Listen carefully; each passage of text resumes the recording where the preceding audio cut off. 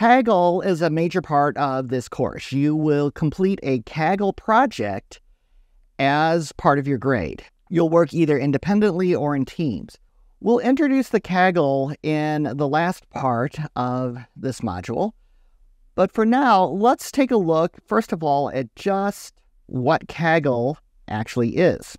So, Kaggle is a competitive data science sport almost. You can earn top rankings in Kaggle. Uh, you do this in a variety of ways. If you look at Kaggle, you can see that they have data sets, competitions, notebooks, and discussions. You can earn ranking in all four of those areas.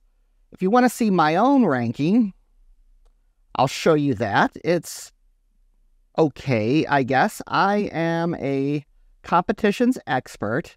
I have that status in competitions, also in data sets. What that means is I've gotten a number of bro- uh, two bronze medals in competitions that I competed in before. So you'll see in the Quora question pairs, I got in the top 7%, and in the Otto Group, I got in the top 10%. You need to be in the top 10% to get a bronze medal, at least in the competitions. There's other qualifications in these others. You can become a Kaggle master or even a grandmaster. And some people actually have all four of these as grandmaster, and then you're a quadruple gra- grandmaster. So you can go far, far in Kaggle. I've really only competed in three competitions, so I have not gone nearly as far in Kaggle as as some people have, but I've competed in a few. We're going to compete in a private Kaggle competition. So if you look at the main competitions page, these are the public competitions, and you can see they are for some very decent money 100,000, 60,000, 53,000, and so on. Winning one of these also certainly gives you the opportunity for, for major bragging rights to recruiters at very, very, very good companies. I have seen some people parlay their Kaggle winnings into, in, into entire career directions we, for the course, will not be competing in the public Kaggle competitions. We'll be competing in something called Kaggle Community.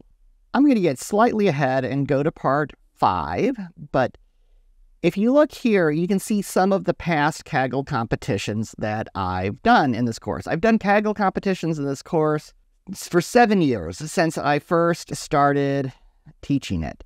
If you go to the immediate previous one from spring 2023, this was a competition where I had you count the number of people in a beach scene.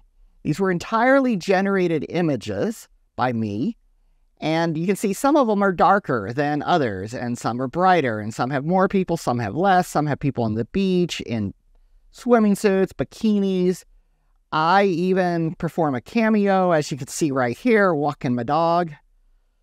Uh, so this is this is one of the competitions that you previously had. Now, the people who have the top Kaggle ranks, if you click on Kaggle top users, you'll see, and no, I am not at the top. I am actually 10,489th, I guess, in, in Kaggle. But you can see the other people here, like Dieter. If you click on them, you'll see that they are Grandmaster in four or three of these. And you will see a lot of people in the top ranks at NVIDIA and some of the other sort of major tech companies. One Kaggle Grandmaster at rank 153 that I have followed for quite some time. I read some of the uh, things that he puts out. Bojan Tunguz works for NVIDIA, I believe currently with NVIDIA. Yep.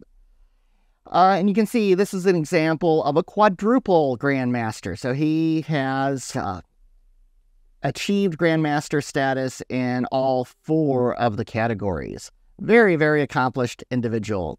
Certainly recommend following him on Twitter and LinkedIn. I certainly do. So, how is a Kaggle competition actually scored? you'll have those leaderboard positions. And if you look at So if we look at a typical Kaggle competition, this is the one that the spring 2023 students competed in. If you go to the data, you can see that I give you the training set, the test set that you're going to use to form your submissions for, and then all of the uh, images in this case. And this is the usual format for a Kaggle competition, and this is how your assignment for Module 8 works. You're supposed to take a training set, train a model on it, and then submit predictions on the test set. These Kaggle competitions will usually have discussions, so there's real no discussion really occurred in this competition. They'll have a leaderboard, and a lot went on here. So you can see the students submitted a number of different entries for this. Sometimes we'll have students submit nearly 100 entries in these. Uh, but in this case, Daisy Wang was the winner last uh, last semester with 10 entries and had the lowest score. And in this case, the lower score is, is certainly better. So when you compete in the competition that I'm going to give you for this course, all of your entries will go on to the, the, the leaderboard. And to get full points, I will establish a benchmark solution, and all you really have to do is beat the benchmark solution.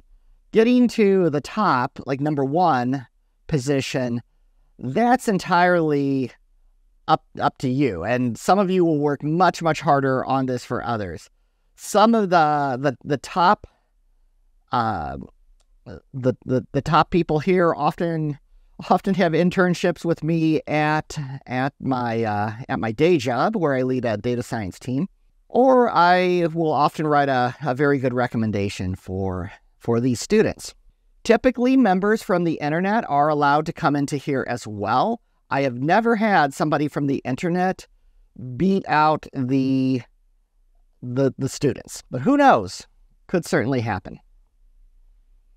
So this is the introduction to Kaggle and Kaggle competitions. In this module, we're going to look at some techniques that are very useful for Kaggle competitions. And then finally, we'll get into this semester's Kaggle competition. Thank you for watching the video. If this is useful, please uh, give me a like and subscribe so that you don't miss future content coming up.